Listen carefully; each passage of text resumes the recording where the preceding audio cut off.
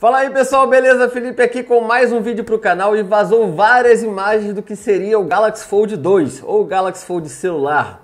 Aí de repente vai ser um Galaxy Fold tablet e o outro celular. Vai deixando o like aqui embaixo, se inscrevendo no canal se não for inscrito e vamos lá, vamos com o vídeo, vamos ver essas imagens aí do Galaxy Fold 2.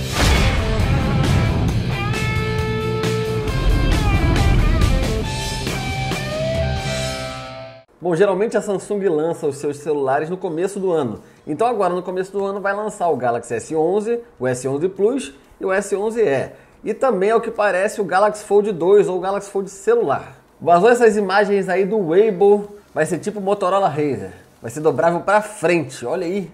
Maneiro. Borda fininha, né? Não tem uma borda muito grossa, mas a borda me parece a borda dos iPhones, hein? Não sei se vai poder ter uma borda menor do que isso em tela dobrável, pelo menos por enquanto. Câmerazinha ali em cima, buraquinho da câmera lá em cima. Aí você vê aqui ele quase fechando, né? Ele quase fechando aí. Realmente muito parecido ao Motorola Razr, muito parecido. O mecanismo de dobra que está meio tampado ali, não dá para ver direito, mas deve ser alguma coisa muito parecida. Não tem note em cima, tem a bolinha para câmera frontal, né? Aí ele fechado, USB tipo C, saída de som. Do lado direito ali, né, dá para entender que ali é o botão de subir e baixar volume, deve ter o botão power embaixo. E aí só uma telinha pequenininha, não vai poder fazer como o Motorola Razr, que, né, que fechado você pode tirar foto com a câmera traseira dele.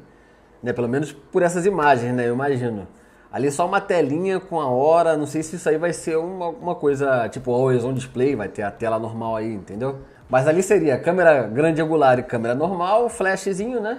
Uma combinação tipo S10e. Se ele não tiver uma tela ali, né, fechado, ele deve vir com um processador mais gama média, tipo Motorola Razer mesmo. Vai ser um concorrente direto do Razer 2019.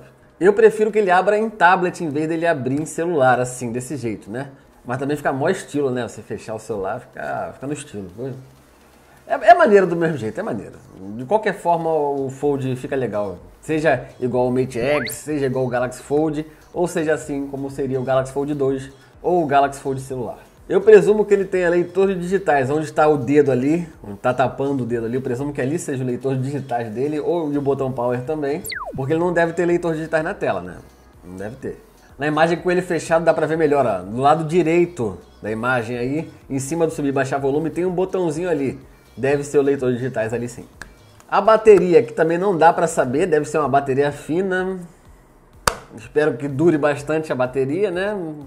Também não dá para ter uma bateria enorme num telefone desse, né, gente? Não dá para ter 5.000 mAh de bateria num telefone desse tamanhozinho aí. Bom, esse modelo que vazou aí, ele é igualzinho que foi mostrado na conferência da Samsung quando ela falou sobre as telas dobráveis, né? É igualzinho esse modelo aí, que é o que seria um flip. Em vez de virar um tablet, ele é um telefone de flip. O processador desse Galaxy Fold aí deve ser o 765G. Ele deve vir numa versão mais barata, né? Para baratear o produto. De repente, plástico em volta dele deve ser uma versão mais barata. Tu vê que a tela, até quando ele está dobrado, não é uma tela grande, é só uma telinha ali, só para notificação mesmo. Então o processador deve ser o Qualcomm Snapdragon 765G. Bom, e quanto mais Fold tiver, mais barato vai ficar essa tecnologia. Vai barateando, barateando, barateando.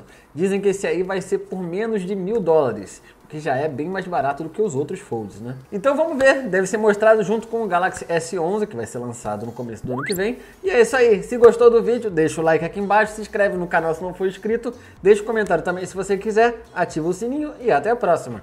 Valeu, fui!